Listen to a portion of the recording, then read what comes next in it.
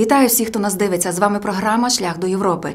За український вибір цивілізаційного демократичного розвитку шовіністична Росія розпочала війну, здійснюючи брутальне вторгнення на наші території. Багато міст на сході України розгромлені. Підприємства, які ще змогли зберегти свої виробничі потужності, рятували обладнання та працівників від ракетних обстрілів і релокувалися в західні області, зокрема на Прикарпаття. Більше 80 підприємців знайшли притулок і можливість працювати в більше, ніж 15 територіальних громад Прикарпаття. Тому територіальні громади за основу беруть добру співпрацю з тим бізнесом, який є, і налагоджують добру комунікацію з тим бізнесом, який є релокований, тому що е, ефективне його е, залучення в регіональний розвиток, пошук нових логістичних шляхів і е, ринки збуту, пошук фахівців це є спільною проблемою, бо в країни, яка йде війна, економіка будується з постійної роботи малого та середнього бізнесу, який наповнює бюджети як державні, так і місцеві. Запорізький завод кольорових металів, який відправляє продукцію на експорт в Європу, релокувався в Івано-Франківську громаду. Керівник підприємства каже, місцева влада максимально сприяє становленню виробництва, однак є ще труднощі з розміщенням працівників, налагодженням логістики. Це дуже складне і високотехнологічне виробництво. Наразі у нас е, триває процедура саме налагодження обладнання та його монтаж. Цей монтаж він дуже специфічний, тому ми залучили наших основних е, працівників, які е, в Запоріжжі здійснюють ці функції. Це близько 20 людей. Однак ми вже тут, у Франківську, знайшли порядка 15 осіб, прийняли їх на роботу, і вже місцевий бюджет Франківська отримує е, податок з доходів фізичних осіб. І відповідно, ми вже е, наповнюємо місцевий бюджет Франківська. Співзасновник it бізнесу Богдан Діордіца переїхав на Прикарпаття з Києва та Миколаєва, де були офіси, ще з початку війни. Каже, що Івано-Франківськ тепер став другим після Львова за кількістю айтівців. Труднощі є у робочих просторах. Е, Це однозначно, бо в Івано-Франківську є промприлад, е, який дійсно крутий, але е, доступ до нього точно не покриває усіх потреб, вірніше потреб усіх е, айтівців релокованих. Бо якщо подивитися на е, дослідження, то в Івано-Франківськ релокувалося 10% від всіх айтівців, що релокувалися всередині країни. Голови територіальних громад тісно співпрацюють з вимушено переміщеними підприємствами, знають всі їхні проблеми та намагаються оптимально швидко їх вирішувати. З самих перших днів разом з громадськістю була створена платформа Save Business Now і FUA, яка дозволила пропонувати підприємствам виробничі площі, а е, підприємствам, які хотіли релоковувати, саме е, мати цю інформацію. Я дуже вдячний за те, що такий механізм працює. Проблем насправді є дуже багато. Надзвичайно велика кількість. Це і питання житла, і питання, скажімо, переїзду. Ми е, десь пріоритетно розглядали е, для релокації підприємства, які так чи інакше пов'язані з георозвідкою, з видобуванням газу, з машинобудуванням для транспортування, з обліком. Е, І нашим стратегічним таким баченням є створення такого технологічного кластеру. Ми маємо відповідно ділянку приміщення, де ми хотіли якраз зосередити ті підприємства, які замикають увесь ланцюг, починаючи від проектування проєктування в сфері машинобудування і завершуючи обліком ем, газу. Україна нещодавно стала кандидатом на вступ до Євросоюзу. Надзвичайно важливо дотримуватися всіх вимог щодо реформ в нашій державі, виконання яких залежить в першу чергу від політичної волі найвищої влади. Але й суспільство не може залишатися осторонь від процесів реформування. Громадські інституції, журналісти, місцеві органи самоврядування повинні моніторити виконання першочергових завдань в просуванні реформ та становленні правового статусу України. Ми повинні всі разом зрозуміти, що реформи це не солодко. Реформи це завжди ламати, це завжди через коліно. І це всі повинні зрозуміти в першу чергу. Тому е, шлях реформ це шлях втрат, шлях боротьби і шлях супротиву. Тому що кожен реформа це рух, правда, кожен рух е, виникає супротив, і це точно буде.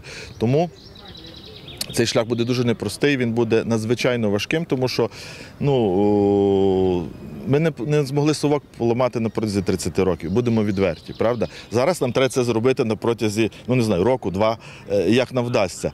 Е, тобто, уявімо собі, та 30 років ми не змогли, зараз треба все це різко поламати. Але це сьогодні, ну може я буду песимістом, напевно, останній шанс.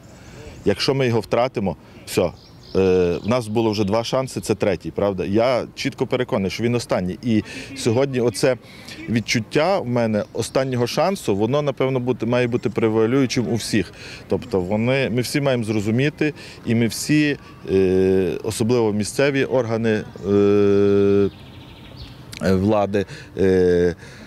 На рівні рад повинні зрозуміти, що вони повинні якби очолити очевидно ці процеси в сенсі моніторингу, в сенсі супроводу, в сенсі якогось е, ну контролю, не буду це говорити, але, але напевно можна це слово тут вжити для того, щоб ці реформи реально відбулися швидко і дуже ну швидко. І Тому що будь-яка реформа ефективна, коли вона швидка. Коли вона розтягується в часі на якийсь е, навіть піврічний чи, чи навіть середньостроковий період, це вже не реформа, це вже все, це вже інерція.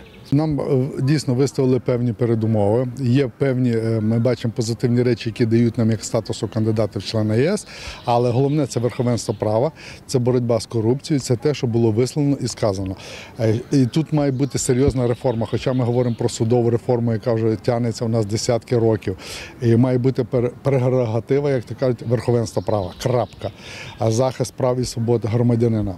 Крапка, але і обов'язок громадянина перед державою. Це має бути дзеркальна відповідальність. Тому я вважаю, перше, що має бути верховенство права, а також боротьба корупція не на побутовому рівні, а на рівні верхов- е, верховної, скажімо так, влади в державі, е, державних інституцій. Там, щоб людина відчувала, що вона захищена, що її права захищені, її свободи захищені, і вона може відповідати тим конституційним вимогам щодо будівництва держави. І тоді ми можемо стати дійсно членами єС. Але я думаю, що традиції і цінності, які сповідують е, громадяни України, вони вже відповідають всім вимогам і критеріям Європейського союзу. Нам треба привести відповідність законодавства, але щоб воно працювало. Бо можна написати дуже хороші закони, якщо вони не працюють, це погано. Е, Пане Тарасе, а я, ми, як ми можемо контролювати найвищу владу, законодавчу у пришвидшенні цих реформ? Ми маємо на це як суспільство, як громадські організації, як місцеві органи самоврядування? Маємо якісь важелі впливу? От якраз це дуже е, ключове питання. Чому? Тому що громадянське суспільство тільки формується. І коли воно буде сформовано, тоді воно може мати контроль над владою, над державними інституціями, адже ми їм делегуємо повноваження під час виборів.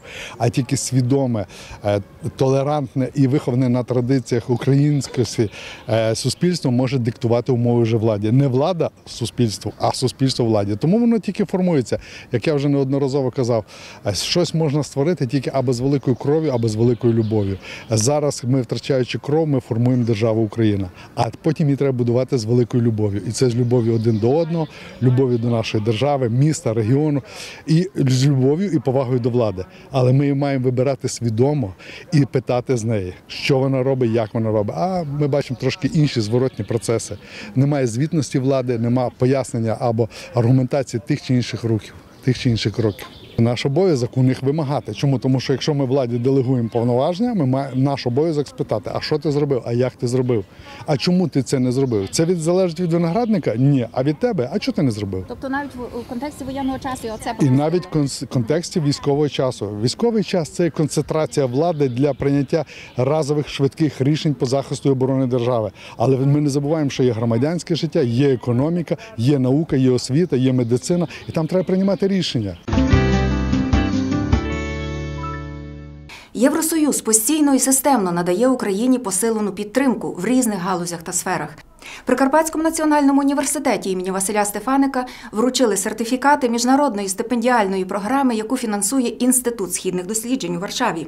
Це один з провідних організаторів відомих економічних форумів Східної Європи в Криниці. Два останні роки його організовували в польському містечку Карпач.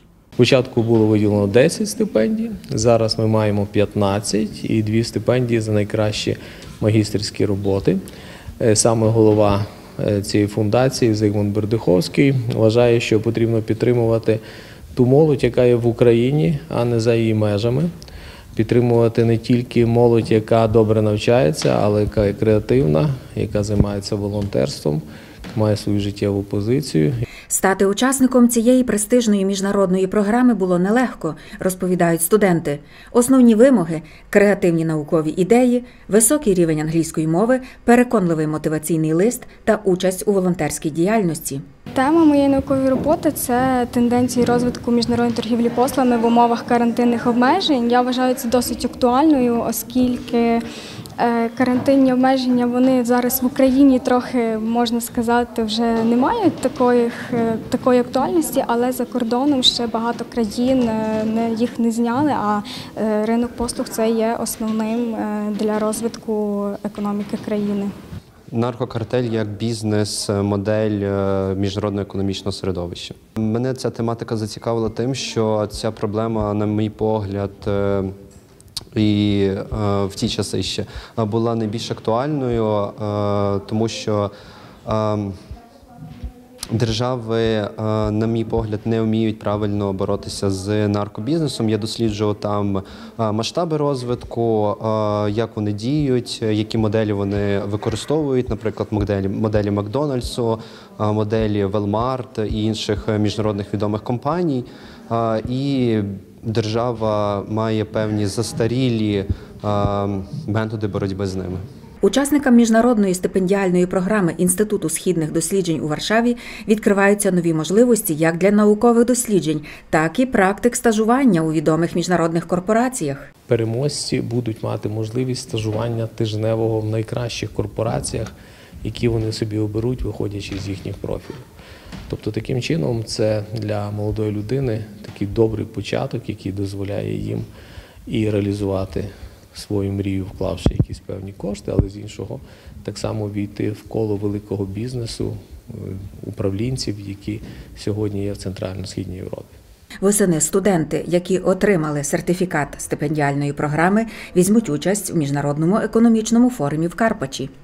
І ще про одну подію при Карпатському національному університеті імені Василя Стефаника. Тут відкрили центр психологічної підтримки людей, які постраждали від війни.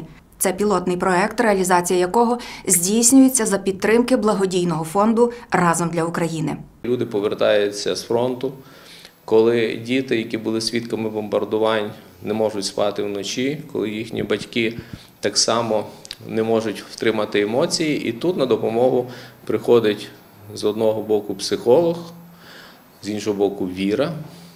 Поєднання цих двох важливих елементів дозволяє людині стабілізуватися. Ми робимо акцент, звичайно, що на батьків з дітьми. Це перша категорія, яка потребує допомоги. Тому, звичайно, що ми очікуємо, що ми тут будемо надавати психологічну допомогу. Однак ми плануємо розгортати таку психологічну допомогу і по ОТГ для того, щоб навіть можливо ми могли туди поїхати і попрацювати. Бо я вже зараз знаю, що є така категорія людей, наприклад, як дружини військових, які зараз на передовій, і тому вони потребують особливо психологічної підтримки. Психологічної підтримки потребувало чимало людей з посттравматичним синдромом, каже виконавчий директор благодійної організації Разом для України Евеліна Курілець. Адже війна в нас триває вже восьмий рік. Період повномасштабного вторгнення Росії на нашу державу постраждалих від цієї шовіністичної агресії надзвичайно багато. Страждають діти, так само страждають мами, страждають мирне населення, яке потребує не тільки фінансової підтримки, але вони потребують психологічної підтримки. Ми розуміли, що з вересня дітям потрібно йти в школу. Мами вони пережили жахіття, вони втратили майно, вони змушені були покинути рідні домівки. Їм важливо бути в емоційному стані, який дозволить продовжувати виховувати дітей, е, щоб вони могли продовжувати бути підтримкою своїх чоловіків, які захищають зараз нашу державу. Психологи Прикарпатського національного університету імені Василя Стефаника також вже впродовж восьми років працюють над методиками реабілітації людей з посттравматичним синдромом. Відкриття центру разом з тобою стане новим імпульсом для вдосконалення наукових переконань в напрямку вивчення психології. Це чергова лабораторія, яка дозволяє студентам, викладачам вправляти свої вміння і досконалювати. З іншого боку, це широка можливість допомогти тим, хто сьогодні це потребує на професійному рівні, бо це є дуже важливо. Це пілотні проекти, але вони повинні бути в кожній області.